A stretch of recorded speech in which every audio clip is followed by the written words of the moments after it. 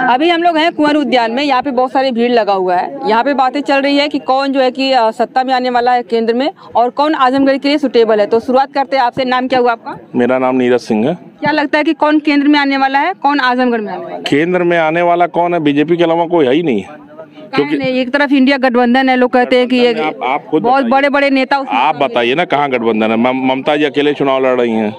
बंगाल खत्म। बॉम्बे में महाराष्ट्र में वहाँ शिवसेना अकेले चल रही है। शिवसेना खत्म। आपका लालू बिहार में भी कोई गठबंधन चल नहीं रहा है क्योंकि नीतीश जी हमारी तरफ़ आ गए। आपका आजमगढ़ यहाँ यूपी में सपा तो एक साथ चल रही तो तो तिरसठ पे वो हार मान लिए सत्रह पे वो हार मान लिए।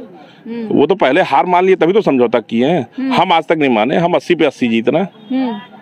मतलब आप कह रहे हैं कि 400 पार बीजेपी जाने वाली हंड्रेड परसेंट आप इसी डिबेट में फिर आइएगा। जितने रिज़ल्ट के बाद आइएगा आप देखिएगा तो आप खुद बताएँगे कि 400 कुछ सीटें आजमगढ़ के लिए कौन है आजमगढ़ नहीं रुकवाएँगे पक्का हंड्रेड परसेंट। अभी अ, इंडिया गठबंधन की बात हमने करी है। निराशा की बात बहुत ज़्यादा हो गई है। अगर आम आदमी में बात करने जाओ तो वो कहते हैं कि जो है कि महँगाई बहुत ज़्यादा बढ़ गई है बेरोजगारी बहुत ज़्यादा बढ़ गई कौन है। महँगाई महँगाई महँगाई में पेट्रोल का दाम पेट्रोल का दाम अठानवे रुपए एक मैम। पेट्रोल का दाम की अगर बात करेंगे आप तो आप सड़क पे निकल जाए हमें हमें तो नहीं दिखता कि साइकिल एक भी दिखेगी सारी मोटरसाइकिल दिखेगी। और अगर आप पेट्रोल की बात करती हैं बावन गाड़ियों से, से धर्मेंद्र जी काफिला लेके चल रहा है चुनाव में हम्म, तो बावन गाड़ियों का काफिला वैसे तो नहीं चल रहा वो भी उनकी वो गाड़ियाँ हैं जो सात और आठ का एवरेज देती है। हम्म। तो अगर इतनी महँगाई होती तो कम से कम स्कॉर्पियो लेके चलते तो पंद्रह का देती। हाँ ये ये यही सवाल तो मेरा है कि लोग कहते हैं कि महँगाई है महँगाई है लेकिन खेत जाना होगा चार कदम मार्केट जाना होगा लोग पैदल नहीं जाना चाहेंगे गाड़ी ही निकाल ये महँगाई महँगाई सब बेरोजगारी सब। महँगाई महँगाई क्यों चिल्ला ये ये देखिए होता क्या ना कि आदमी को बोलने के लिए कुछ शब्द चाहिए। जैसे पहले कांग्रेस बोलती थी की बात भी करते हैं। कांग्रेस पहले बोलती थी कि हम रोटी कपड़ा मकान देंगे। शुरू से चुनाव उस पर लड़ी है। बीजेपी ने ये मुद्दा खत्म कर दिया।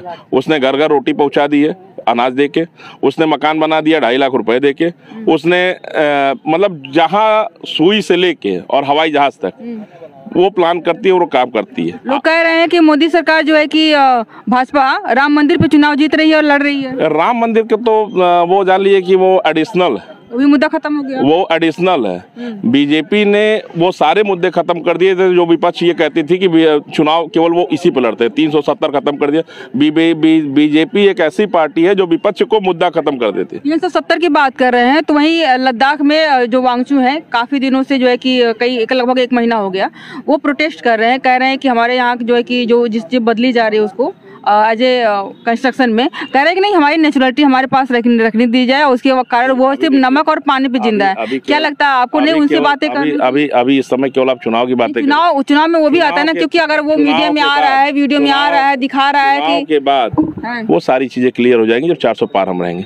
कुछ नहीं मैंने ये कहा मैंने ये कहा सुन लीजिए। सुन लीजिए आपकी बातों को मैं समझ रहा हूँ। कुछ चीज़ें ऐसी है कि अभी हमारी सीटें कम है इसलिए हम उसमें डिसीज़न नहीं ले पा रहे वो डिसीज़न डिसीज़न की बात मैं नहीं कर रही हूँ। मैं कह रही हूँ कि अगर समाज में कुछ चल रहा है उसकी वीडियो जो है कि आम जनता में पहुँच रही है कि अठारह दिन से जो हमने लास्ट देखा था अठारह दिन से तक उसके बाद एक महीना हो गया होगा हॉस्पिटल में बात नहीं कर रहा हूँ। लद्दाख की बात मैं नहीं जानता हूँ तो मैं किस लिए दो मिनट मैं ये कह रही हूँ कि इनको कोई तकलीफ़ है ये यहाँ पे आंदोलन में बैठे हुए हैं। हम- तो हम कह रहे हैं कि हम यहाँ उस के प्रशासन को अगर नहीं जानेंगे एक तकलीफ़ की बात आपको कर रहे हैं। आजमगढ़ में मधुरी एयरपोर्ट पे आज हमको अभी कोई मित्र हमारे बता रहे थे कि 400-500 दिन से कुछ किसान धरने बैठे हैं उसको इंटरनेशनल बनने से रोकने के लिए। कुछ दिन से नहीं लगभग डेढ़ साल हो गए डेढ़ साल हो गया डेढ़ साल से धरने बैठे हैं। आप ये बता दीजिए कि डेढ़ साल में अगर वो इंटरनेशनल एयरपोर्ट हो जाता तो क्या कप्तानगंज का भला नहीं होगा क्या आजमगढ़ का भला नहीं होगा? आजमगढ़ में ऐसी कौन सा काम है जिसमें बाहरी फुटफॉल है बलिया का। वो लोग कह रहे हैं कि हमारे जो है कि किसी के पास एक बीसा ज़मीन है किसी के पास झोपड़ी है तो हमें मुआवजा सही नहीं मिला तो जाएँगे कहाँ जाके पता की ज़्यादा को पूरा कोलघाट बिक गया। बवाली मोड़ बिक गया बैठौली बिक गया प्लाटिंग कर करके सब बेच के खत्म कर रहे हैं लोग। और वहाँ अगर अंतरराष्ट्रीय हवाई अड्डा बन रहा है तो उनकी भूख और जा रही है। हाँ, अरे ये सब जमीने बाप दादा की जमीने मुआवजा मिलता है उसका मुआवजा मिलता है। स्कॉर्पियो एजेंसी खा, खाली हो जाएगी जिस दिन मुआवजा पाके तो लोग स्कॉर्पियो खरीदते हैं। विकास अगर करना है तो किसी न किसी का विनाश होगा। आज रानी सराय में जाम नहीं लगता है। रानी सराय जिस दिन मकान टूट रहा था बीजेपी विधानसभा हारी तो क्यों रानी सराय की वजह से हारी? लेकिन आज सबको ही वहाँ से काम करते हुए अपना निकल रहा है। आज जाम नहीं ना लग रहा है। तो अगर वहाँ टूटेगा नहीं कोई विकास होना होगा तो कुछ ना कुछ तो होगा। तो आम आदमी को कुछ समझ में नहीं आता क्योंकि जब हम वहाँ पे कवर कर रहे थे वहाँ पे कवर कर रहे थे जितने भी नेता आ रहे थे बीजेपी को छोड़कर कि इवन बीजेपी के नेता भी गए हुए थे तो उनको बहुत बुरी तरीके से लोग वहाँ से भगाया था। पूरा वहाँ की औरतें चढ़ गई थी उनके ऊपर में।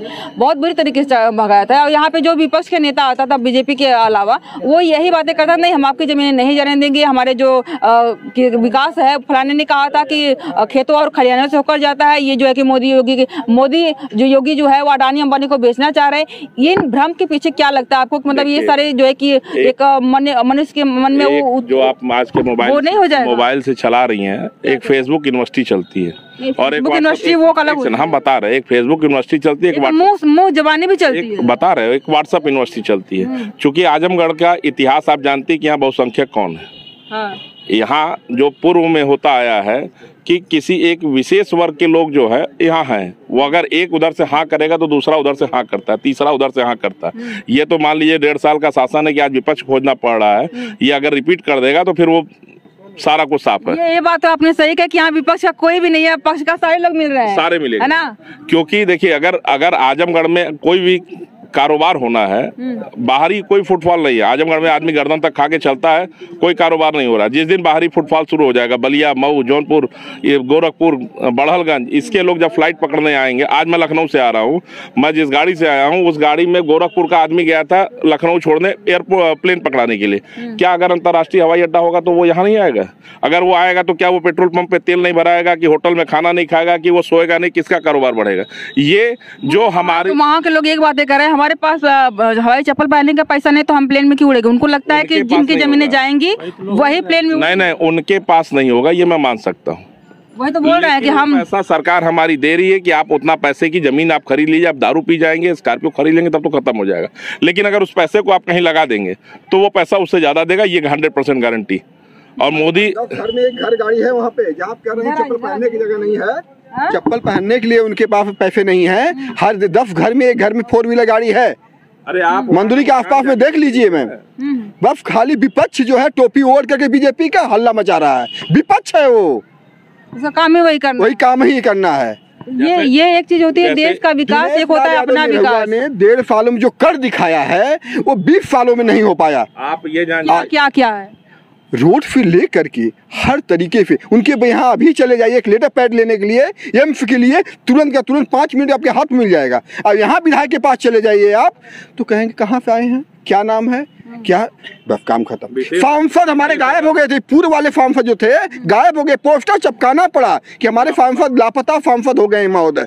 पता नहीं दूसरा उनके बेटे हुए गोद लिए। ये बगल में गाँव है तमौली। उसका पता नहीं चला। आज जाएँगे ना चक्का आपका दब जाएगा नीचे। पता नहीं चला कब पंचर हो गया कितने किलोमीटर जेसीबी खींचेगी। बुलडोजर बाबा का चल दिया भाई। आप ये जी। जाइए कि जो यहाँ के विधायक हैं यहाँ के दो दो बार सांसद उनके पार्टी के रहे। नौ आठ बार से विधायक वो हैं। इत्तेफाक से उनके यहाँ का रोड भी हमारे सांसद जी ने बनवाया। अब इससे बड़ी दुर्गति क्या है कि नौ साल का विधायक दस बार के सांसद इधर की मैं बात कर लूँ उस निधि में ये इतना पैसा नहीं था कि विधायक जी अपने आवास का रोड बनवा उन्हीं से बात की जा जिनका आप बता रहे हैं कि नौ साल से बार से वो जो है कि जीते हुए थे मैंने उन्हीं से बात करी। तो उन्होंने कहा मैंने कहा कि आप नौ बार में विधायक बने हैं नौ बार विधायक रहे तो आपने ऐसा क्या विकास किया है कि आप जो है कि बार बार जीते रहे? तो बोले वो कि वोट जो है कि विकास के नाम पे थोड़ी मिलता है। तो वो तो सही बात है। क्योंकि क्योंकि देखिए वो वो उनकी होम्योपैथिक है। फ़ायदा नहीं करेगा नुकसान भी नहीं करेगा। मीठ मीठ बात करेंगे तो हम अच्छे रहेंगे। जो खर खर बात करेगा वो तो खराब इस रहेगा। बार इस बार का जो संसदीय परिवर्तन होगा हाँ। अगर सांसद हमारे निरहू जी रह गए तो अगली बार विधानसभा भी आप नोट करके जाएगा कि उनके हाथ से जाएगी। दो दो दो चीज़ें जो है कि बहुत ज़्यादा बोली जाती है। एक इलेक्ट्रॉल बॉन्ड हो गया अभी आपने कहा कि लद्दाख की बात ना करें तो मैं वहाँ की मणिपुर की बात नहीं करती हूँ लेकिन वो बातें ये मणिपुर की करेंगे तो बंगाल की बात भी याद करना पड़ेगा आपको हाँ? अगर मणि- करते हैं, नहीं, लेकिन बंगाल की बात कोई बात नहीं करता है। अगर सुन- लीजिए, सुन लीजिए। बात मैं सुन लिया समझ भी गया जहाँ भी जाती हूँ, मणिपुर के लोग बात करते हैं, बंगाल की बात कोई नहीं करता है, तो नहीं करता तो फिर? इसलिए नहीं करता है क्योंकि बंगाल बंगाल में मैं गया था कलकत्ता घूमने